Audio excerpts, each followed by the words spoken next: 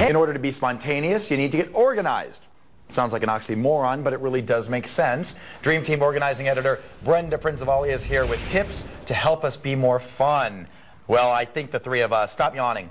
Uh, the three I of us, uh, usually we have fun, but Rachel was yawning just then. I've been out since 2 a.m. I was. I called her out. Uh, all right, help Rachel help herself have more fun. All right. Well, the first thing you need to do is if people have been asking you to do things that are, you know, spur of the moment, and Yeah. you've been saying no, find out why. What is it that is your excuse? What's your reason? What's your challenge? So really go, kind of go think, either think back or as things start to come up, start to realize why it is that you were saying no to something spontaneous. Okay, so if someone says, hey, hey Brenda, let's like, let's after work uh, go up to Mount Charleston and go like snowboarding for the day. Right. And you're like, no, I can't. Is that what you mean? Right, Okay. and then figure out why. Well, is it time? Is you know wh- what is the reason? Okay. And so whatever those reasons are, then the next thing you want to do is start to find some solutions. And let's say it might be related to children. So what you might want to do is find get a backup for pickups and drop-offs. Mm-hmm. Maybe it's your time. Maybe your schedule is so tightly packed that if you took an hour off just to do something spontaneous, if it totally threw off your day and you paid a price for a week, Right. then maybe your calendar's a little too filled. And maybe you just don't have the equipment with you that you need to do whatever activity it is that you might want to do. Yeah, that's true. Okay. Yep. And um, so,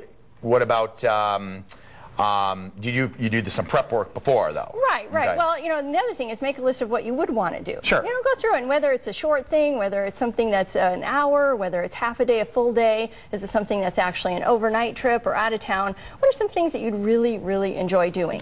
And then if once you get that list made, then prepare yourself. Mm-hmm. Okay. Go ahead and, you know, if it is to go up snowboarding, Sure. make sure that in the trunk of your car you have your ski equipment, you have your snowboard, so that if somebody would ask you, you're like, all right, I'm there. I'm all ready to go. I've got it in my trunk and I can take off. Ah, okay, okay. So be prepared. Whether it's even a cosmetic and toiletry bag that's all ready to go. If somebody says, you know what, let's go out of town. Great, you're ready to go. You really do have to mentally, sometimes mentally prepare yourself. I mean, maybe you put that bag like right next to, like where your car keys are, right? So you know, right. you know. Right. Yeah. Well, that's a whole other part of the issue too. Yeah, right. Getting it in the now I can't find my car.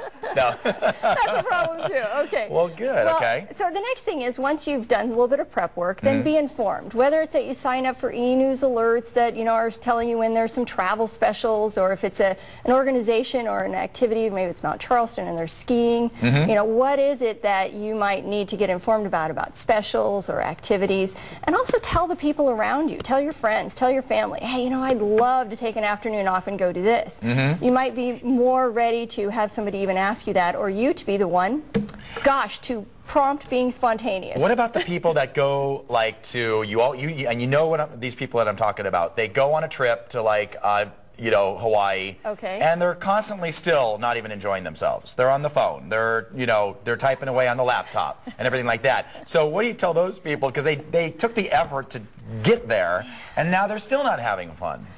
Th- Well, you know, gosh, that's a Pina- whole, a whole other host of questions. Well, yeah, that can always help just to kind of take the edge off. But Yeah. you know, they've they've set themselves up to. At least they got that far. Yes. Okay, Yeah. Brenda, thank you. Right. Get a hold of Brenda and the rest of our Dream Team members by logging on to our website at fox5vegas.com and clicking on more. Rachel, you got, uh, well, you got